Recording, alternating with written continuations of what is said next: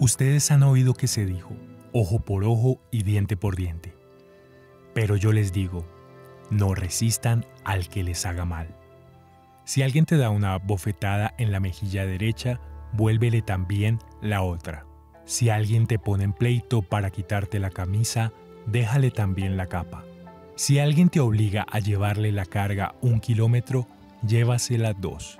Al que te pida, dale. Y al que quiera tomar de ti prestado, no le vuelvas la espalda. Ustedes han oído que se dijo, ama a tu prójimo y odia a tu enemigo. Pero yo les digo, amen a sus enemigos y oren por quienes los persiguen, para que sean hijos de su Padre que está en el cielo.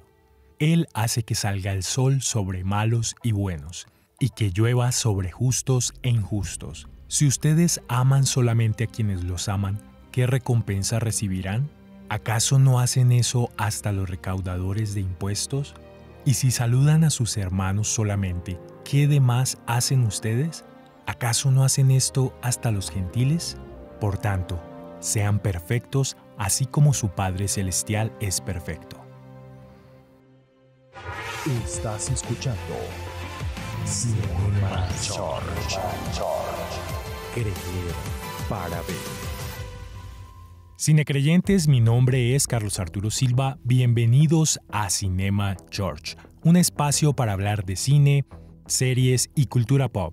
En este podcast hablamos sin spoilers. Si usted aún no ha visto esta producción, no se preocupe, no se la vamos a arruinar. La idea no se trata de hacer críticas o reviews, sino de tomar los mensajes para reflexionar acerca de aspectos relevantes para nuestra vida y por supuesto para nuestra fe. Al nacer entramos a este mundo sin conocer las reglas del juego, pero rápidamente nuestra raza, nuestro género, nuestra condición social y a la larga nuestras creencias nos colocarán en una posición dentro del tablero. Buscamos conectarnos con quienes nos identificamos, con quien piensa similar a mí, con quien me parezco. Y en contraposición están quienes son distintos, quienes piensan diferente. Poco a poco formamos bandos y generamos rivalidades y enemistades. En este camino podremos encontrar aliados a quienes llamaremos amigos, pero sin duda también nos toparemos con aquellos que quieran dañarnos, que serán los antagonistas de la historia, nuestros enemigos. La sociedad insiste cada vez con más fuerza en diferenciar y alejar un bando del otro. Las orillas opuestas derecha e izquierda malos y buenos, blanco y negro, y terminamos matándonos entre nosotros mismos. Hollywood nos mostró por años siempre la historia del héroe que debe vencer a su enemigo. Al final el bueno triunfa y su enemigo el malo recibe su merecido. Siempre nos vamos a identificar con el bueno. Pero, ¿qué pasaría si nosotros fuéramos los malos en la historia de otros? ¿Realmente la vida se pinta a blanco y negro? Las historias de los buenos y malos tienen matices, y resulta que nuestros enemigos se parecen mucho más a nosotros de lo que nos imaginamos. Amar al amigo es tarea fácil, pero amar a los enemigos, ese es el verdadero desafío. Cine creyentes, es hora de hablar de Cobra Kai.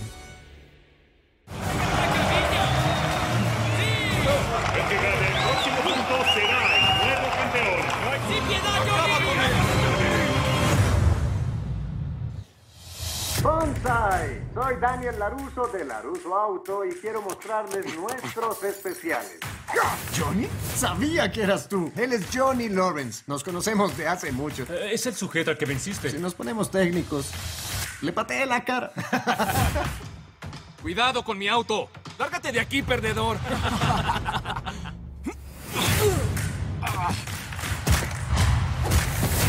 Lo de anoche fue taekwondo, jiu-jitsu. Karate. ¿Podría enseñarme? ¿Cree que puede traer a Cobra Kai de vuelta al valle? Ah, mientras yo viva. ¿Será mi maestro de karate? No. Seré tu sensei. Tú y yo. Esto no ha terminado. Es el año de 1984. Las salas de cine se llenaron de niños y jóvenes que querían ver la historia de David y Goliat pero esta vez contada a ritmo de rock and roll y karate. Es la historia de Daniel LaRusso, el chico proveniente de Nueva Jersey que llega junto con su madre a buscar mejor suerte en un suburbio de Los Ángeles, California. Este chico de apariencia debilucha pero con gran carisma deberá enfrentarse a las dificultades de su nueva vida, tratar de encajar en un lugar al que no pertenece. Conocerá a Ali, la chica de buena familia que le robará el corazón, y su exnovio Johnny Lawrence, el bravucón de la escuela, quien se convertirá en su archienemigo y el rival a vencer. El casero de Daniel, el señor Miyagi, será quien lo guíe en un viaje a vencer sus miedos y enfrentar a sus rivales, pero eso sí, con unas buenas patadas de karate.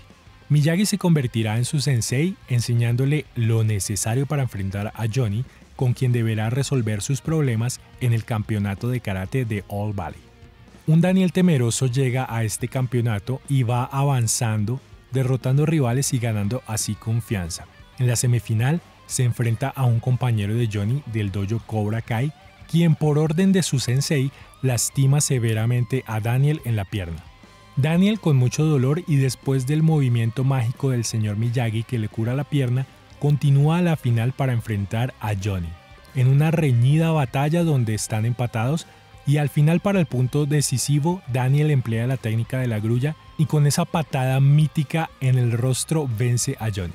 Todos en el cine aplauden y regresan a sus casas viendo como el bien derrotó una vez más al mal. Karate Kid fue en ese momento la versión de Rocky pero más adolescente y no es para menos, ya que su director fue el mismísimo John Avildsen, quien años antes hubiera ganado el premio Oscar por la película de Rocky. Karate Kid tuvo dos secuelas directas con el mismo actor Ralph Macchio en el papel de Danny y una película llamada El nuevo Karate Kid que realmente es para el olvido. La película se convirtió en un clásico y un icono de la cultura popular, tanto así que para el año 2010 Will Smith produjo una reversión protagonizada por Jackie Chan y su hijo Jaded Smith. Entre los chicos que asistieron al estreno de Karate Kid allá en el año 1984, se encontraban tres amigos de Nueva Jersey quienes 30 años después harían posible la serie de Cobra Kai. Ellos son John Horwitz, Hayden Schlossberg y Josh Held. Se volvieron fanáticos de toda la saga de Karate Kid y pasaban horas haciendo todo tipo de teorías respecto a los personajes y cómo podían continuar la historia. Estos chicos, al igual que Daniel LaRusso en la película, se mudarían años después a Los Ángeles para perseguir su sueño como guionistas en Hollywood. Allí lograron varios éxitos dentro de la comedia con películas y series, pero nunca se olvidaron de su amor por Karate Kid y la idea que tenían de escribir la continuación de esta historia. Al no tener los derechos de los personajes, ellos pensaron en contar la misma historia de Johnny Lawrence, el abusador de la escuela, pero en su vida adulta y usando otro nombre, claro está. Aunque ellos sabían que sin el peso de Karate Kid esta historia no iba a funcionar, por lo que su ánimo decayó. Sumado a que en estos días por el año 2010 se estrenaba el remake producido por Will Smith. Pero en el año 2013, un episodio de la popular comedia How I Met Your Mother reviviría sus esperanzas de seguir con ese proyecto. En el episodio reaparecen los actores Ralph Macchio, quien interpretó a Daniel, y William Sapka, quien da vida a Johnny. En este capítulo el personaje de Barney muestra su fanatismo por Karate Kid y cómicamente deja mal parado a Ralph Macchio, revelando como para él quien es el verdadero héroe de la historia, el verdadero Karate Kid es Johnny, el alumno del dojo Cobra Kai. Nuestros tres amigos guionistas, al ver que Karate Kid era aún relevante para la cultura popular y como también habían personas que pensaban distinto frente a los personajes, continuaron con sus planes y contactaron a la compañía de Will Smith, quienes tenían parte de los derechos de Karate Kid. Después de varias reuniones, se gestó la serie de Cobra Kai que traería de regreso a los personajes originales, pero dándole una vuelta a la historia.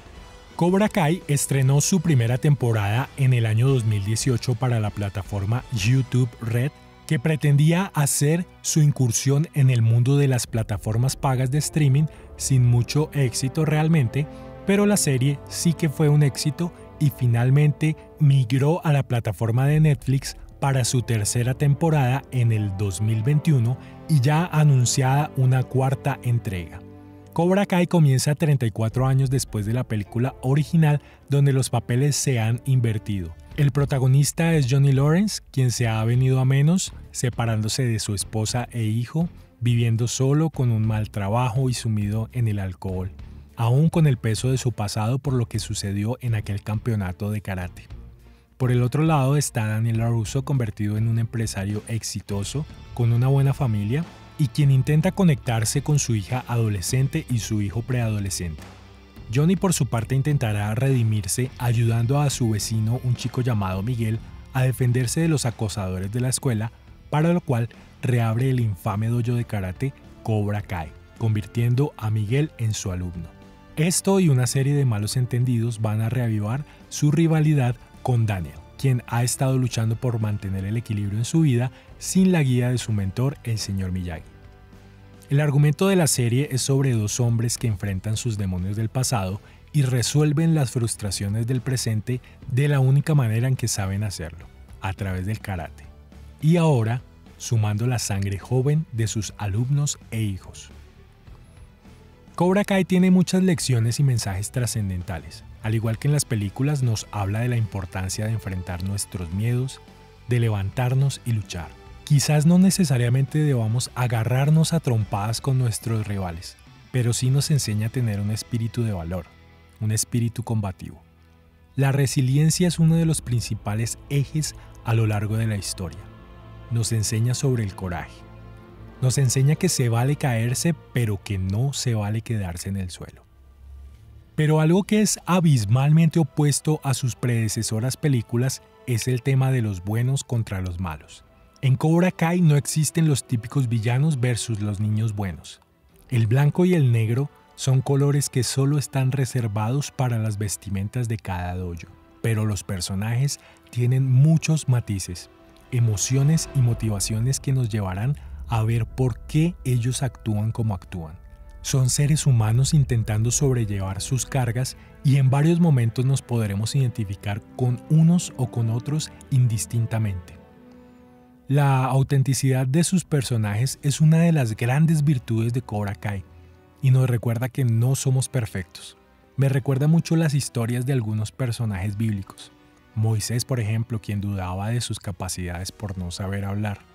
David, quien cometió actos bastante reprochables, pero sin embargo fue considerado conforme al corazón de Dios y de su descendencia vendría la salvación del mundo. Inclusive el mismo Jesús en un momento tuvo angustia y pidió no pasar por esa situación, pero enfrentó sus miedos y decidió por nuestra salvación entregar su vida. La Biblia nos dice que no hay uno solo bueno. Todos hemos cometido errores, todos nos hemos equivocado y hemos pagado las consecuencias de nuestros actos. Cobra Kai nos muestra esos matices de hombres imperfectos que deben tomar decisiones, algunos para recomponer su camino y redimirse, y otros decisiones equivocadas que los pueden llevar a perderse. Pero si no hay buenos ni malos, ¿qué pasa con mi enemigo? ¿Por qué Jesús me pediría amar a alguien que quiere hacerme daño? Son preguntas complejas que tampoco tienen respuestas fácilmente. Sin duda, Dios siempre ha sido enemigo de la injusticia, igualmente de quienes la practican. Pero lo que Dios nos pide a mi manera de ver no es hacernos de la vista ciega ante las injusticias del mundo, sino más bien enfocar nuestros esfuerzos a actuar en consecuencia. La violencia no puede derrotarse con más violencia. La única forma de destruir a tu enemigo es convirtiéndolo en tu amigo. Pero para llegar a ese punto no se debe mirar hacia afuera. El viaje debe comenzar hacia adentro de nosotros mismos. Muchas de las cosas que detestamos en nuestros semejantes simplemente son el reflejo de lo que no nos gusta en nuestra propia persona. Son como un espejo cuyo reflejo no queremos mirar. Pero al ignorar ese reflejo no nos damos cuenta que somos los villanos en la historia de los demás. El primer enemigo sin duda que debemos derrotar es a nosotros mismos, nuestras inseguridades, nuestros miedos, nuestros vicios, aquello a lo que le hemos dado permiso de salir y que ha terminado lastimando a los demás. Jesús nos dijo, ama a tu prójimo como a ti mismo. Sin ese amor propio no podemos dar amor a los demás. sencillamente porque en los demás se refleja quién soy. Daniel y Johnny son enemigos no porque estén en orillas opuestas, sino porque se parecen en muchos aspectos y no quieren reconocerse el uno en el otro. El equilibrio es una de las lecciones más importantes de la serie, el no irse hacia los extremos, mantenerse en perfecto balance. Y esto se puede lograr empezando por reconocerme a mí mismo, a aceptarme tal como soy y sobre todo a perdonarme. Hacer las paces conmigo mismo, reconocer mis debilidades para crecer. Y es allí cuando puedo reconocerme en el otro, ver su propia lucha y pensar que tal vez detrás de su forma de ver el mundo hay una historia, hay una motivación. Quizás no una justificación, eso dejémoselo a Dios quien es el único justo. Juzgar, señalar y odiar al enemigo siempre será el camino fácil, ya que no debemos arriesgar nada. Pero amar sin que sea recíproco es arriesgarlo todo. Es tiempo de no ver la vida desde orillas opuestas. Entre el blanco y el negro hay una gama de miles de hermosos colores que nos estamos perdiendo. En el balance está la clave. En el equilibrar la vida está la paz. Perdonar y amar a nuestros enemigos comienza cuando podemos perdonarnos y amarnos a nosotros mismos. Cinecreyentes, eso es todo por el día de hoy. El amor cubre multitud de faltas. Quizás ese que vemos como enemigo tiene más cosas en común con nosotros de lo que nos imaginamos. Gracias por escuchar, compartan este contenido. Si les gustó, hagamos que el cine y la fe crezcan.